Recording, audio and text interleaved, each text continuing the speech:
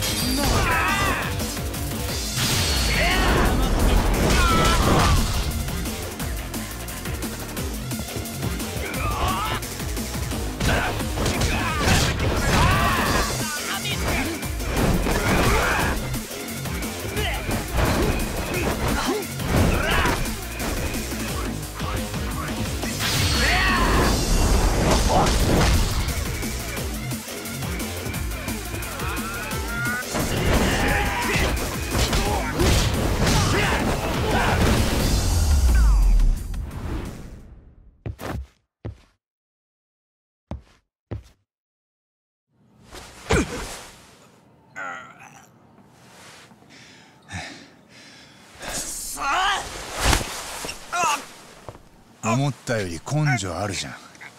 けどそれもっとためになる使い方あんだろ。離せ！何やってるの？あなたたち。おい行こうぜ。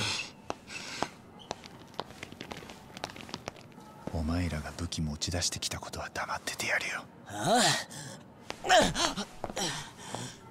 聞いてるんですか？ちょっと行き違いがありまして。な。別に何でもねっす。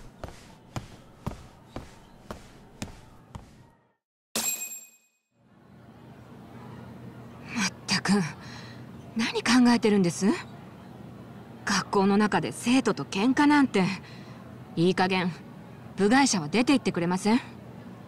一応俺理事長に呼ばれてきて。ええそうです。でも理事長だってもし生徒や保護者たちにあなたたちのこと質問されたらなんて説明できます？まさか隠しカメラで校内をか、うん確かに。いいですか？今度何かあったら理事長のことだって全部ぶちまけますよ。私がかばう義理なんてないんですから。だいたい学校の中をそんな格好でとにかくあなた方はす海藤さんまだいるよね。理事長と変わってくんない？助けがいるんだけど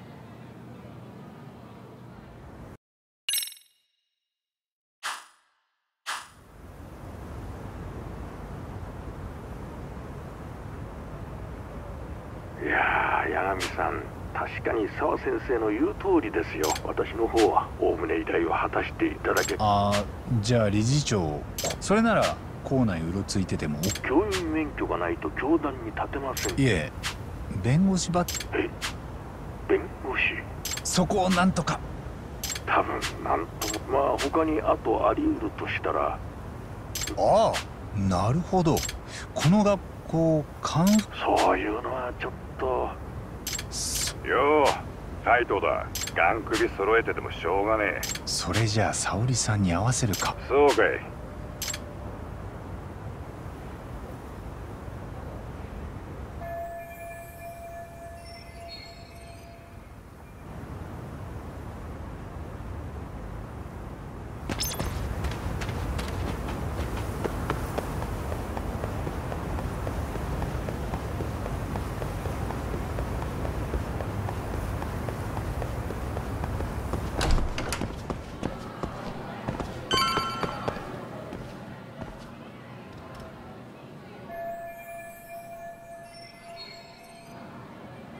ん？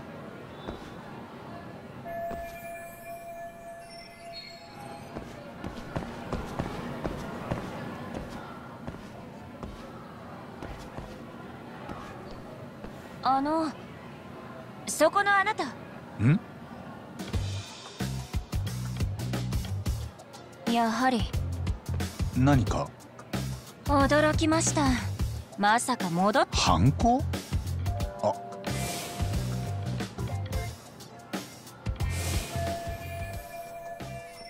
放火犯や強盗犯は現場に戻って。えっと盗撮魔？何のことかな？階段に盗撮カメラを設置して女性とのスカートの中を覗こうとしたでしょ？いやマジで何言ってるのかわからないんだけど。あの俺忙しいんで。待ちなさい！あなたが履いているスニーカーそれこそが動かぬ証拠。盗撮魔が履いていたものと全く同じ形なのですから。逃げられると思わないことです。はあ。のささっきから何なんだよ。スニーカーが同じだって。そんな根拠で人を犯罪者扱いするのはどうかと思うよ。同じスニーカー履いてる人なんていくらでもいるでしょ。じことだけが根拠ではありません。実は先日盗撮魔が現れた時カメラの前の床に透明な塗料を撒いておいたのです。ブラックライトで光る塗料をね。え？油性ですから1日くらいでは落ちません。今もそのスニーカーに付着しているはず。えー、えっと。要するにあなたは自分のか愚かにも現場に戻ってき星稜高校ミステリー研究会に感づかれたことが。は？ミステリー研究会？さ盗撮魔さん。ちょちょっと待ってくれ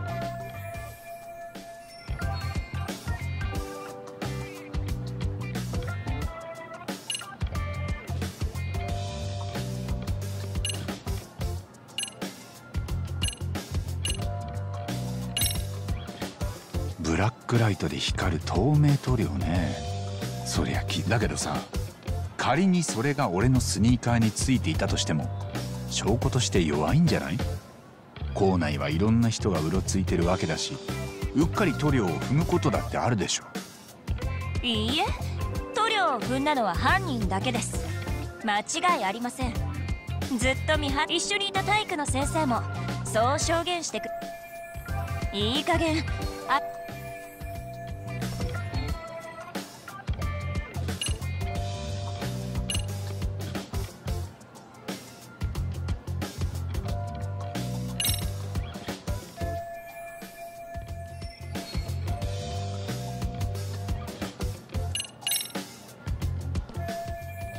逃げても無駄ですよ。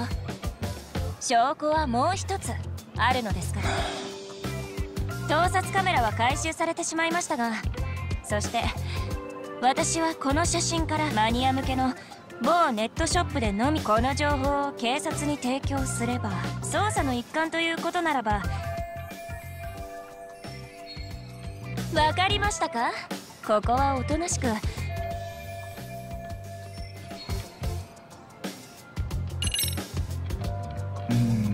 うーんちょ？っ話し合えっと詳しい事情は話せないんだけどできれば穏便に済ませたい。ここは一つ。何？私が求めるものはただ同情を引く。脅迫する。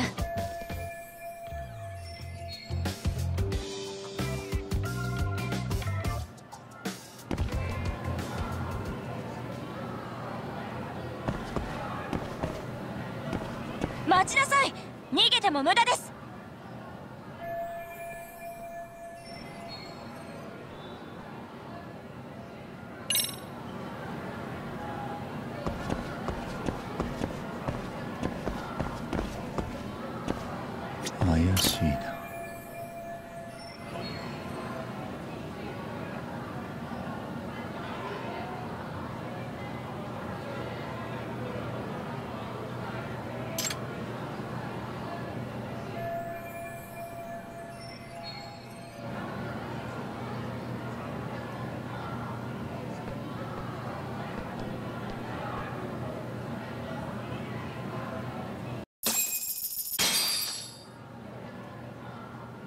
君ミステリー研究会の部長さんのそれが何か？そこのチラシに書いてあったんだけど。以前の顧問の先生が結婚を機理事長も代わりの顧問を立てることに後ろ向きで。ですがご心配なく。まそうなればミスケンの存在意義は証明いやーそれはどうかな。ミステリー研究会の顧問合校の顧問を引き受けてくれる探偵や作家がそう簡単に見つかるかなまあ確かに。だろ？そこで俺から一つ提案なんだけど。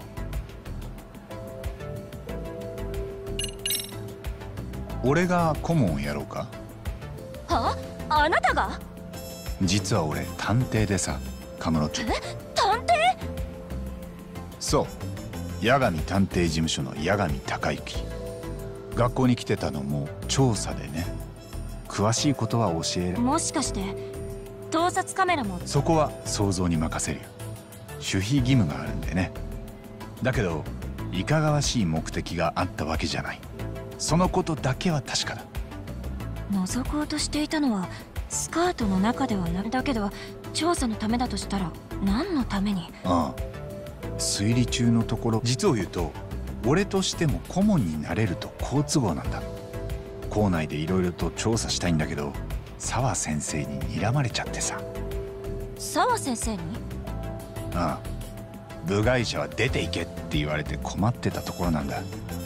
だけど顧問になればもう部外者じゃない。校内をうろつく大義名分ができるってわけだ。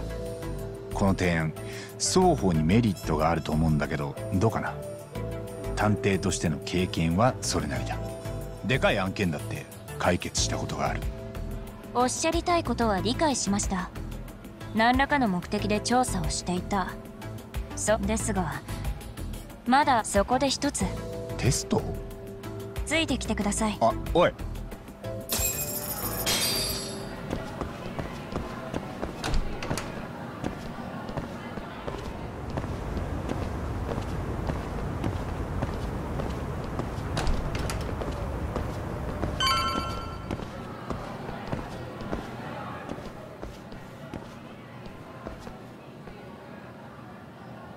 ここは？ミステリー研究会の部室です。部室？これが？部活数に対して部室の数が足りず。さあどうぞ中へ。あちなみに他の部員もいますので。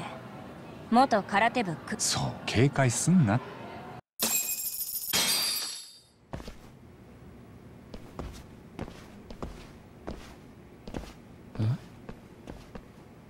姉ちゃんその人は？八神さん顧問候補の人。顧問にふさわしいかどうかテストをしようかと思って。ふーん。どうも。俺は天沢健人。この人の弟です。ミスケンの用心棒をやってます。姉ちゃんいろんな危険なところに首をつく。八神さんおかけください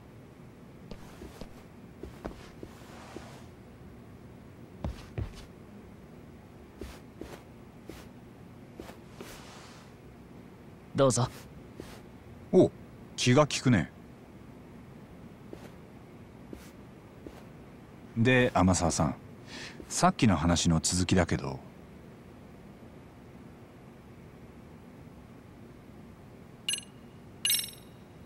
ミステリー研究会の活動内容にミステリー研究会は基本的な活動内容は古今東西のミステリー小説をですが必要に応じ巷のミステああそれって要するに探偵トラブルに首突っ込んで回るのは感心しないな。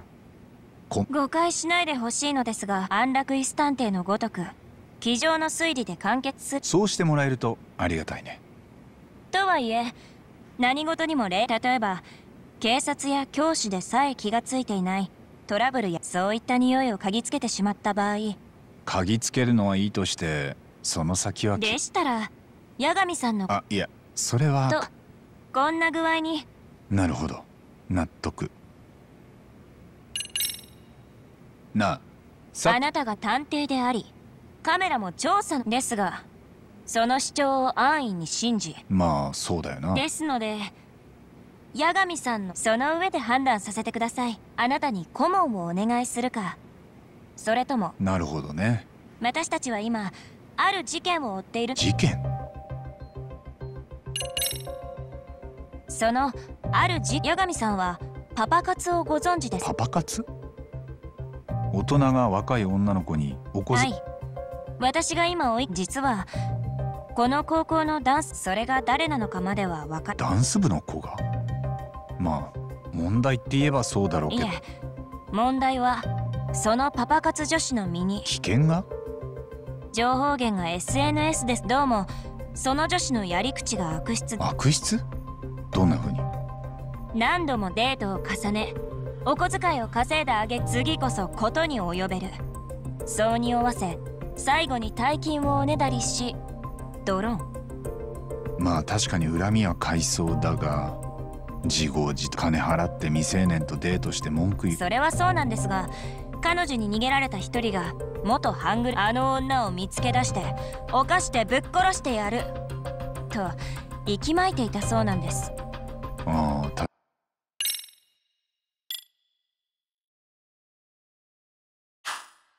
確かに。そりゃ物騒だな。でその元半グレの男このままでは危険なのです。一刻も早く。確かに放っておくわけにはいかないな。そうその通り真の名探偵ならば。おおお俺も。君たちが追っている事件については。で具体的に何をすればいい？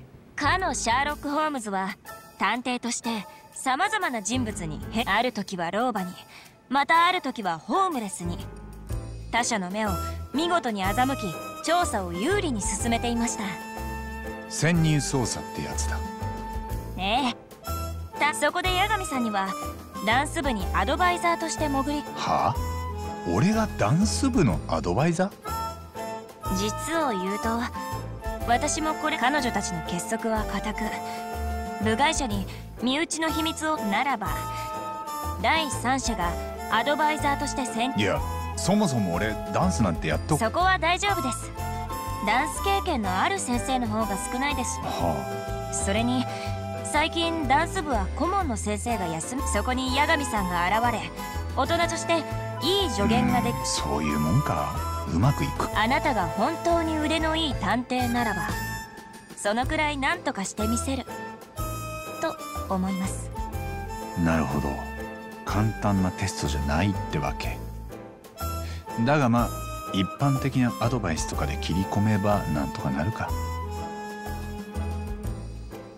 てそろそろ練習の始まる時間でしょうし。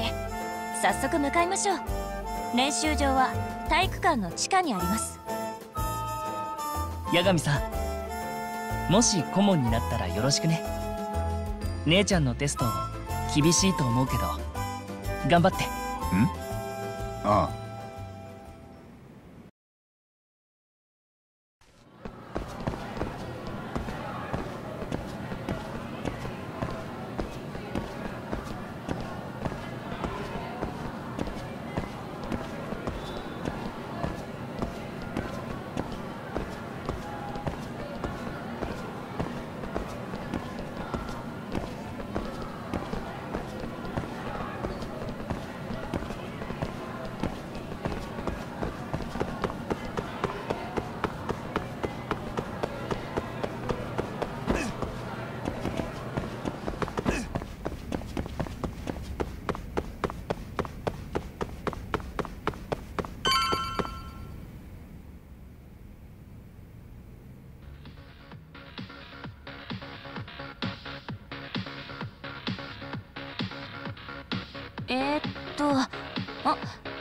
ました。うーん。なんか違うんだよな。西園さやかさん。ちょっといいですか？ああなたは？ミステリー研究会部長。ミスケン？あミスケンが何の用ですか？うちで事件なんて起こってませんけど。そう警戒しないでください。今日はダンス部に素敵な方を紹介しに来たんですから。素敵な方？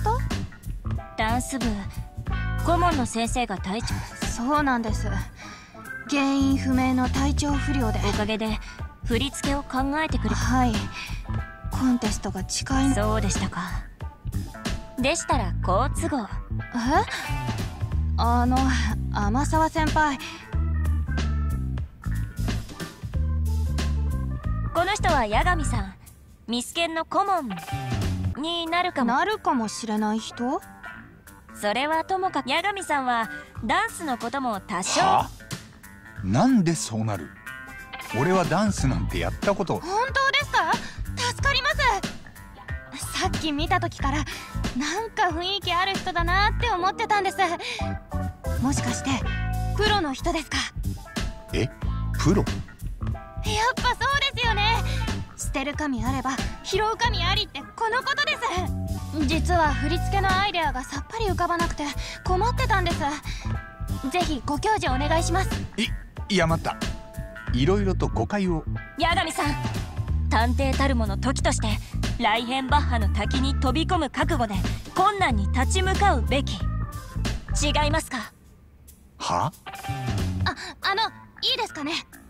今次のコンテストの練習してるんですけど振り付けがみんなもうリズムもつかんで振り付けも覚えてあと何か決定的な何かが足りないな。コンテストまでもう時間もないし本当に焦ってて。はは。あの八神さん私たちのダンス。いいやーそう言われてもな。観察力。探偵としての。え？ここはズバッと指摘してあげてください。当然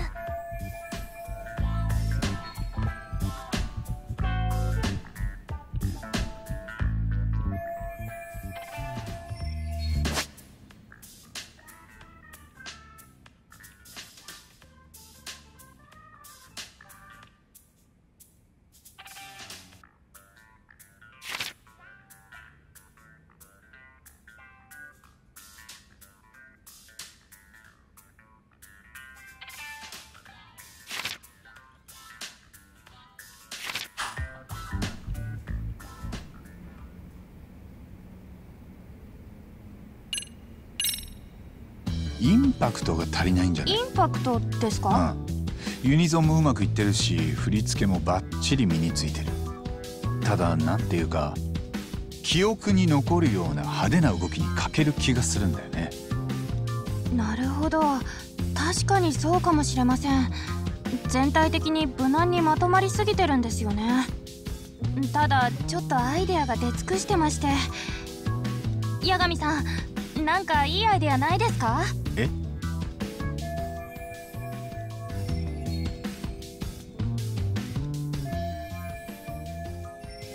パクトのある動きといえばそうだな。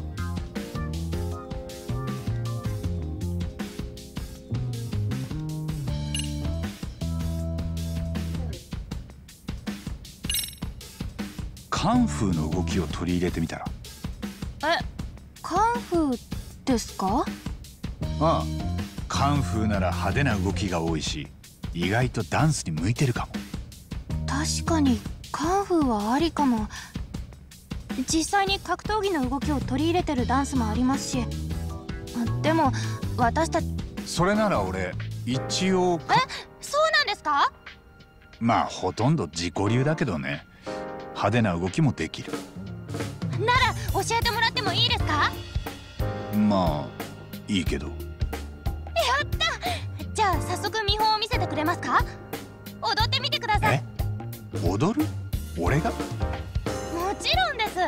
カンフーの動作だけならそれをどうダンスの振り付けにするのかが肝心ですか？いやカンフーはできる。そう。八神さんできないなら今回。待った。分かった。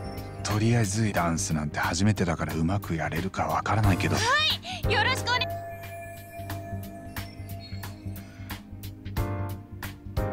それじゃあ八神さんサビのところまで30秒間私たち八神さん流にアレンジして踊ってみてください。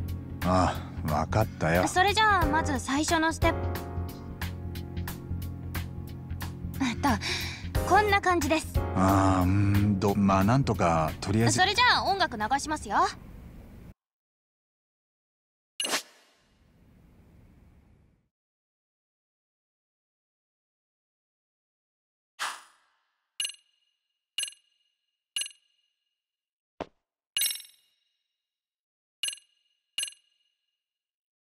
よし。やるか。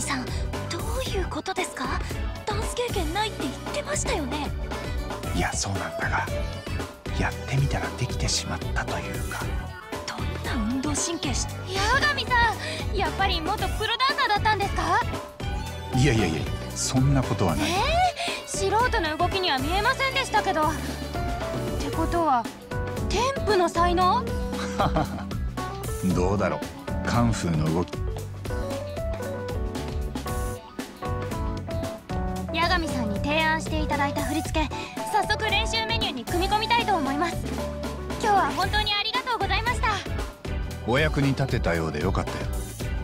あのもしよかったらこれ顧問の先生が全然部活に来てくるそれに八神さんならなんだかああたまになら。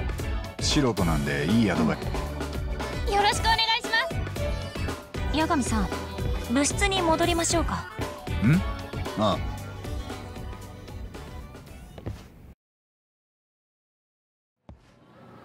どう？ダンス部部長の信頼は得らそうれですね正直驚きました。私が何度アプローチを試みても。ああなんかミスケンめちゃくちゃ警戒。何はともあれ。私としてはぜひ八神さんにミスケンの顧問おそいつはよかった。ってことは、ええ。その説は失礼しそれに実を言いますと。あの隠しカメラの目的なんとなくえさマジで？生徒を監視するかのように設置されたカメラ。世間の耳目を集めている江原明宏の痴漢裁判。それらのピースを並べていくとぼんやりとですがまあお仕事の邪魔になってはいけませんから。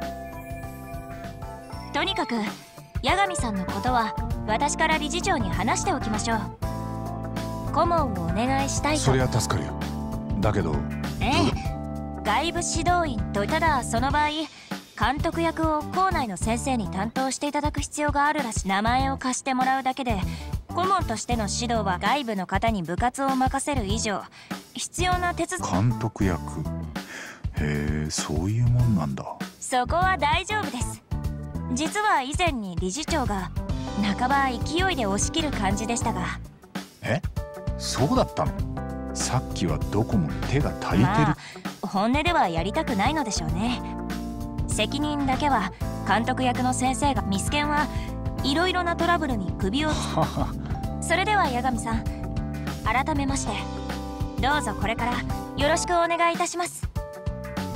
ああこちらこそ。な。八神さん後でまた部室に来ていただけますか？私たちが追っているとある事件のことでぜひとも相談に乗っていただきたいのです。なんだパパ活の他にも厄介な事件が？ええ。実はパパ活女子の件もその話は時間がかかりそうですので。なんだかよくわからないが時間ができたら顔出せ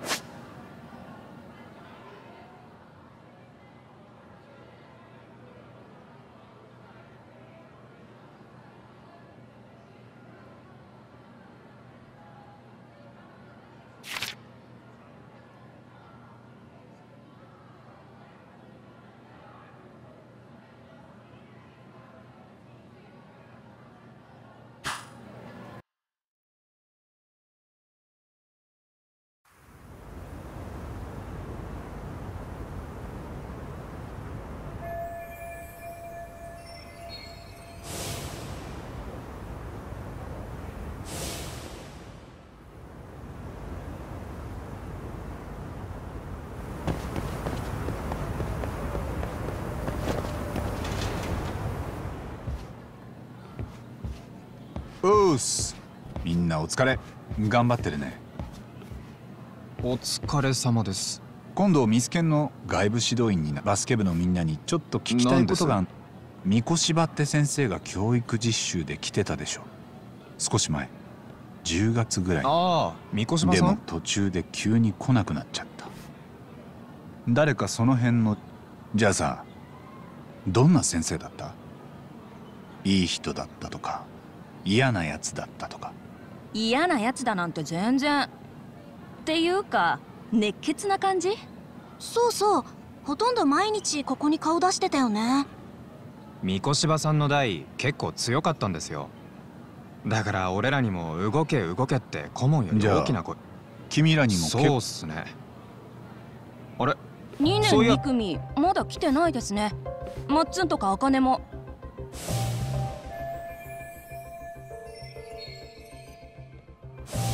その子たちがどうかしたの？三越芝先生2年のコーダって子がお気に入りだったんです。ん？なんだ幸田さんなら少し知ってるよ。三越芝が気に入ってたって？すごく指導が熱かったんです。うちは部員ほとんど経験だから高校から始める人はそれで三越芝先生がよく高田の面倒を見てまあそうっすかね三越芝先生はしごいてやってるつもりだったんでしょうけどみんなの前で高田にシュートさせてから今のが悪い見本だって。じゃあ三越芝う。はーんまあ悪く言えば。でもそれも愛情表現？三越芝先生だったもんな。ボール磨く時の手がエロいとか他に取り柄ないの。胸でかいから。そうそう。だから三越芝先生が急に学校来なくこうだとなんかあったんじゃん？なんかあったって。不適切な関係とか噂だけどなくもないって感じ？三越芝先生どこで血なるほど。それで幸田さんのことをエロ女って？あのもういいですか？幸田さんと2年2組の部員がまだ来てないんだっけ？それってよくあることなの？いえだいたいみんなこの時間には揃ってるはずなんですけど。さあ話聞かせてくれてありがとな。よくわかったよ。